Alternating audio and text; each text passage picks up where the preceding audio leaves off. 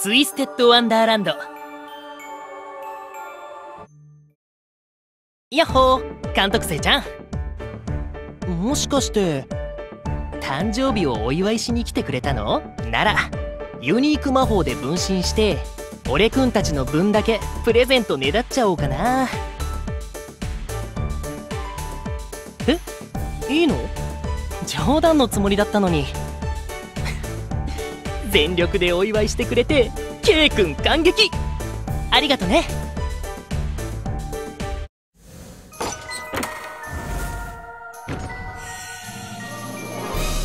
今日は K 君のためのアニバーサリー。みんなで思いっきり楽しもうね。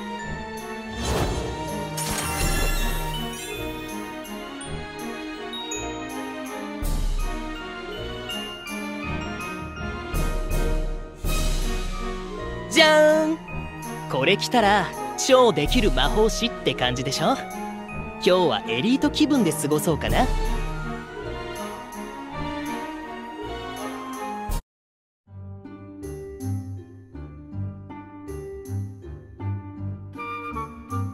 おそろそろインタビューの時間だ。最後にもう一回帽子の角度を整えて。よしオッケートシコ。プレゼンターは魔法のペンデュラムで選ばれるんだっけ。今年は誰が来るのかな。やっほー花大くん。誕生日おめでとう。うわいきなり入ってきたからびっくりしたよ。もしかしてフロイド君がプレゼンター？さあさあじゃインタビュー始めんね。急だね。でも OK どんな質問でもバッチリ答えちゃうから。最初の質問は飛行術でどこまでも行けるとしたらどこへ行きたいですか？魔力量は考えなくていいってさ。飛行術を使ってか。あそれなら最近間近目で話題の滝を見に行きたい。高い位置から落ちた水が途中で霧になって太陽の光を受けると綺麗な虹がかかるんだけど運がいいと虹が何重にもかかって見えるのがすごく可愛いんだよ。この滝のハッシュタグをチェックすると数万いいねがついてる投稿がたくさんあってさ。俺も写真や動画を投稿すれば大バズりすること間違いなし。でも他のやつも同じことしてんでしょ？今更真似したところで話題になんなくね？鋭いねフロイド君もちろん。そのあたりもちゃんと考えてるよ。そもそも今話した滝がバズってるのは徒歩じゃ絶対に行けないからなんだ。豪華なツアーを予約して遊覧ヘリコプターに乗った人だけが撮影できるスポットなんだけどヘリの飛行コースは決まってるし近づくにも限界があるから構図も似たり寄ったりになるんだよね。でもほうきならヘリと違って小回りが利くから好きなコースで飛べるでしょ？ああなるほど。他の連中とは違う構図の写真を撮りまくれるってわけね。そういうこと。ほうきなら滝の裏とか滝壺にも行けちゃいそうだし。ヘリでは入れない場所とか。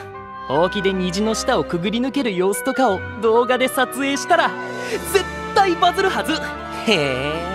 写真撮るためにそんな細けいことまで考えてんだ。ふふん。常に映えスポットはリサーチしてるからね。前からこういう動画撮ってみたいってプランはあるよ。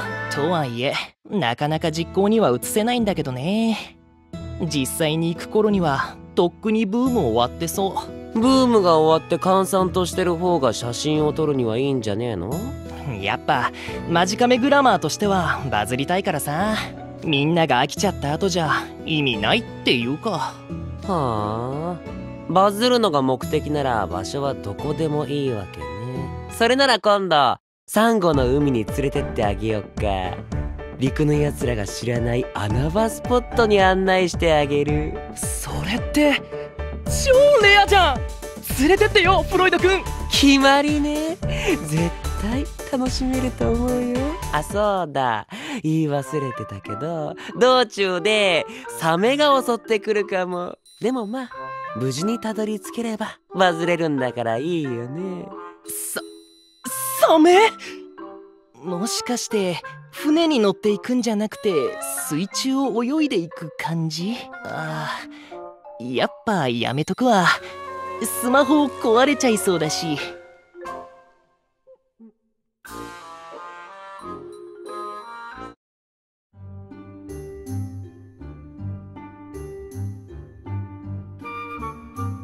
それじゃあ次の質問いこっか。得意な授業は何ですか？得意な授業か。うーん。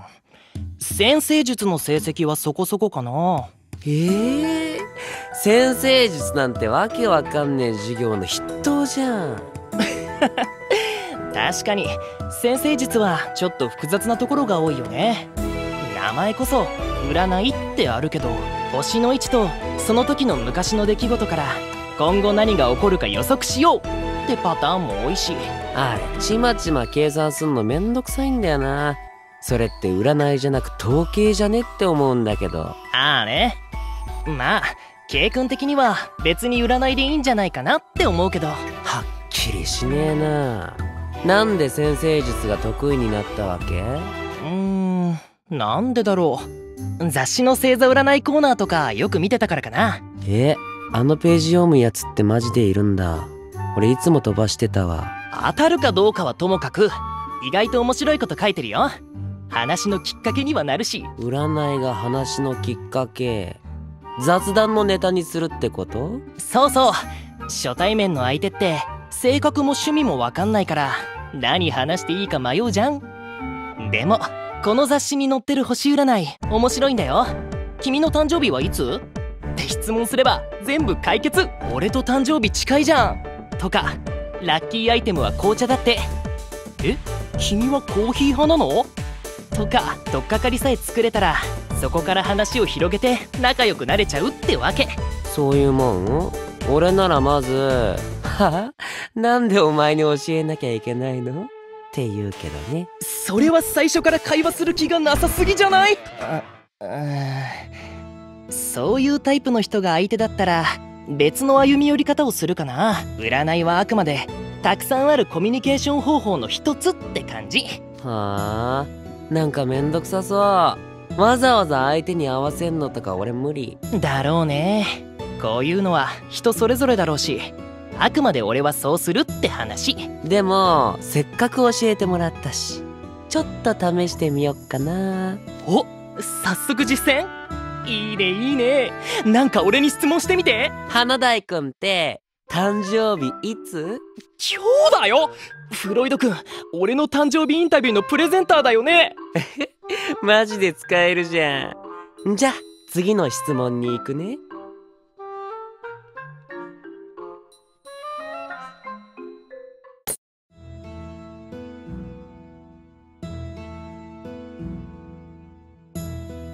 最後の質問です。これからの1年でやりたいことは？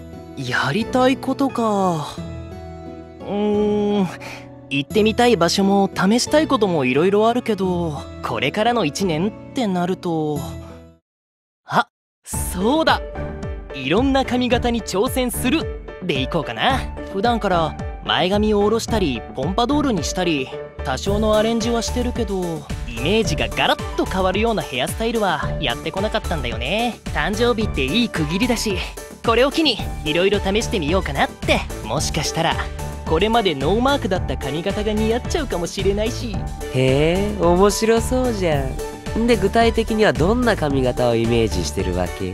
今の髪の長さでもオールバックならできるかな。トップじゃなくて横に流す感じも良さそう。それか美容院でウルフカットをリクエストするとかワイルドな K 君になれちゃうかも。それって今とあんまり変わんなくね？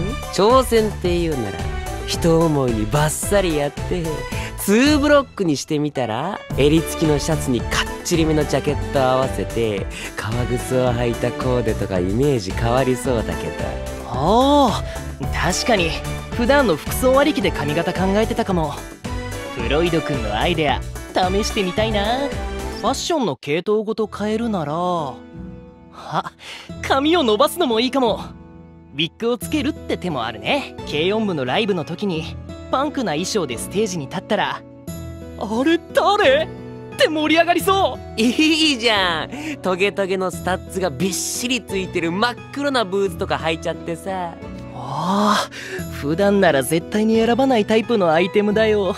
どうせなら髪型もトゲトゲにすれば？トゲトゲ？ワックスでガチガチに固めてハリセンボンみたいにしたら面白そうじゃん。やってみてよ花大くん 挑戦とか冒険って観点では明暗かも。インタビュー終了。はいこれどうぞ。おこれが俺のほうきポップなビタミンカラーがすっごい可愛い。派手めなブーケが服によく映えてんね。まさに花大くんって感じ。じゃあバースデーロードに行ってらっしゃい。そのほうきでつまんねえパフォーマンスはなしだかね。ハードル上げるな。でも任せて。みんなが上がるテクニックを披露しちゃうから。行ってきます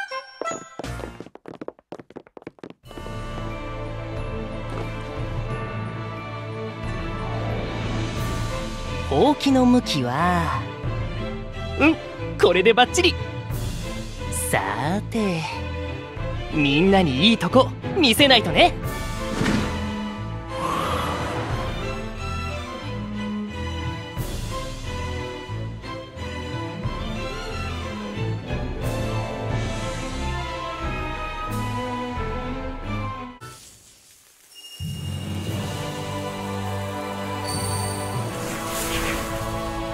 祝ってくれたみんなのために華麗に飛んじゃうよ。